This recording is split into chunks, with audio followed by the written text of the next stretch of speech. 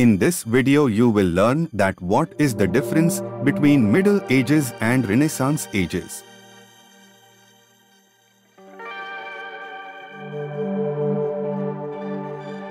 Middle Ages is the period in the European history from the fall of Roman Empire the period of the Renaissance.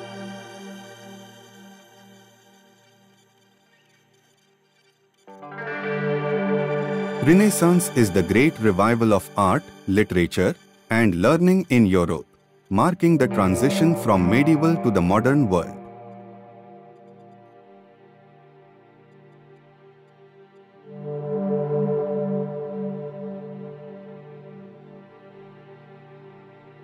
Middle Ages lasted from the 5th to the 14th century.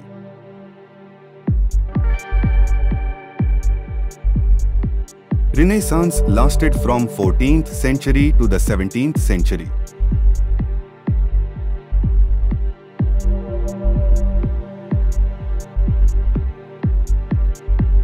In Middle Ages the church was supreme to the state.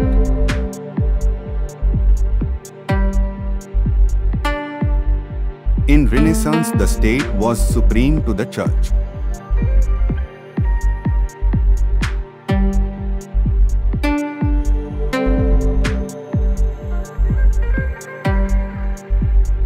In Middle Ages the church dominated the society.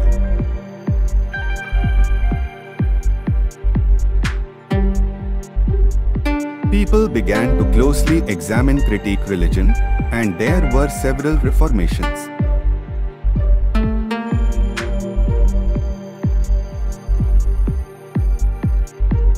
Medieval art and architecture were mainly influenced by religion.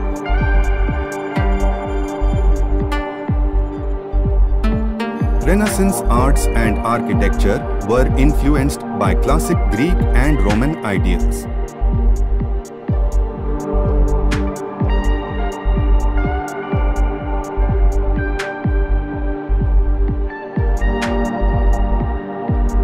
In Middle Ages art is characterized by one-dimensional figures, lack of perspective, lack of chiaroscuro, use of gold in figurines, etc.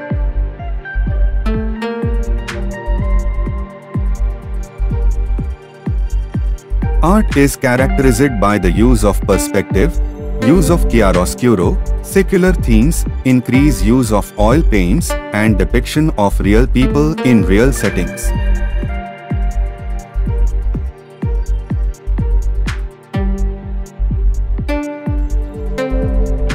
Medieval literature was mostly based on religion.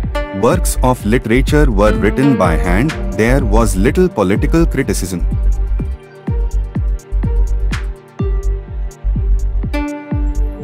More secular, vernacular, and covered a variety of subjects, there was also an increase in the use of the printing press.